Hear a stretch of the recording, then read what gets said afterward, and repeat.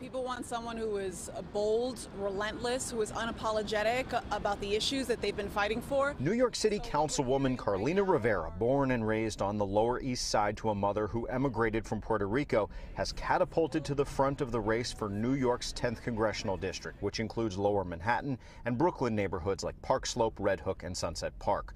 According to a new Data for Progress poll, Rivera is the choice of 17% of Democratic primary voters, followed by Assemblywoman Yuh-Line Niou at 14%, and former Assistant U.S. Attorney Dan Goldman at 12%.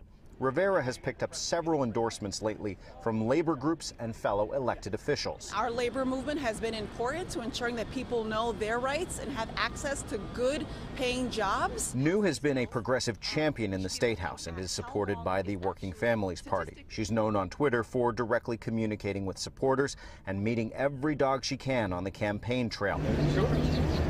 Goldman is an experienced attorney who has raised more money than his competitors.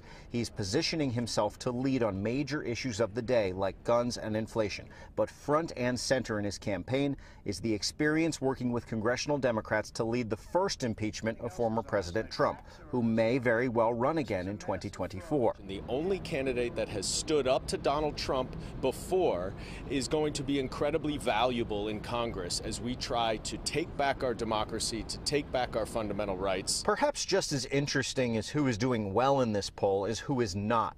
Congressman Mondaire Jones, who moved from the Hudson Valley to the district, still needs to introduce himself, but is generally well liked, according to the poll. And former Mayor Bill de Blasio finished second to last in the poll, featuring nine Democrats running. He was dismissive of polling in general on the campaign trail today. We all know it's an August election.